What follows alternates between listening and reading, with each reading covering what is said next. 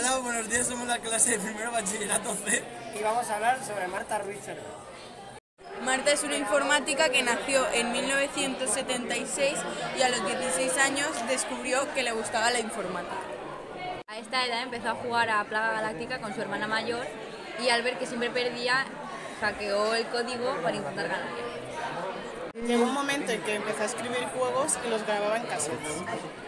Era una buena estudiante, tenía muy buenas notas, eh, lo que pasa es que era poco organizada, así que en primera instancia eh, no pasó la selectividad, la aprobó en septiembre pero no le llegaba la nota, así que decidió irse a una FP. Marta empezó su FP, ahí es donde aprendió a transferir el pensamiento informático y también empezó a programar con COP y Marta, después de su FP, se metió en una carrera técnica en la Universidad Politécnica de Valencia. En esa carrera técnica había muy pocas chicas. Pero bueno, gracias al bachillerato llevó fuerte las matemáticas y gracias a la formación profesional también llevaba fuerte la- las habilidades de programación y pensamiento. Realizó prácticas en una tienda de barrio montando ordenadores y reparando sistemas operativos.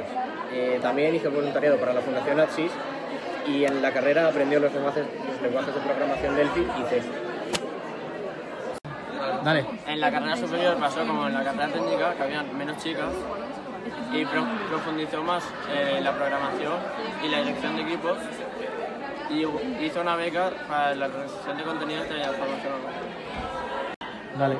Después de su carrera superior realizó un doctorado eh, con una beca de investigación en la que se ocupó de la dirección de, proye- de su proyecto final sobre el mantenimiento del Windows 2003 y sobre el mantenimiento de- y desarrollo de análisis.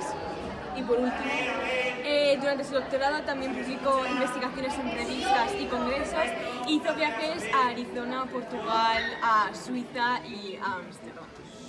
¿No va? Vale, ya. Se fue a trabajar a la empresa Indra en la que, se, en la que trabajó en Itaca, Abucasis e Indra Salud. Y también se sacó un título en la escuela de ICOS, de, la escuela de títulos de ICOS. Ya. Durante el voluntariado parti- impartió cursos de Scratch y fomentó la participación de mujeres en la ciencia y participó en los creadores Pijama Party en la que crearon una app para concienciarnos y limpiar las playas. Además de Hakari Game, Hasta aquí nuestro vídeo de primero bachillerato C.